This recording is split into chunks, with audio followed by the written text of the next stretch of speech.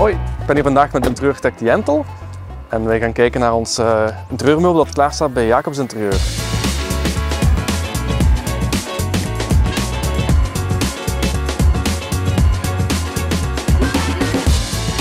Dus hier hebben we de keukenopstelling, zoals je ziet. Dus het eiland met de keukenwand. De lijnen zijn er ook al in verwerkt. Uh, de toestellen zijn ermee bij verwerkt.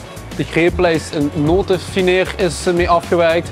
Ja, ook de, de, de, detaillering hier bij de vaatwasser, als je hem inderdaad open doet, gewerkt met vochtwerende MDF.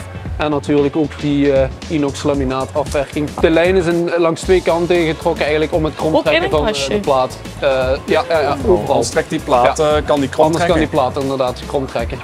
Ja, als die één keer gelakt is, gaat dat nog eens mooier gaan, gaan tonen. Ja, dat is nu al goed hè? Ja, ja, ja. Eigenlijk als het gelakt is, vallen de lijnen minder op dan hoe dat het, uh, dat het er nu is. Ja, ja, klopt. En dan hebben we hier, hè, dus bij het eiland, hetzelfde principe met de greeplijst. Uitsparing voor de kookplaat is gemaakt als een vast paneel. En langs de onderkant in de lade heb je ook uh, de uitsparing gemaakt hè, voor met uw boxen en dergelijke van uw recirculatie ja, weg te komen. Dat is ook mooi allemaal in bestek gemaakt, ja. dat is ook wel allemaal degelijk. Hè? Ja, klopt. Ik ben vooral benieuwd wat de opdrachtgever straks eens vindt als zij het gaat zien in zijn geheel, want zij hebben het nog niet gezien. We bekijken nog even op voorhand dat we hier of daar wat kunnen wijzigen, moest dat zijn.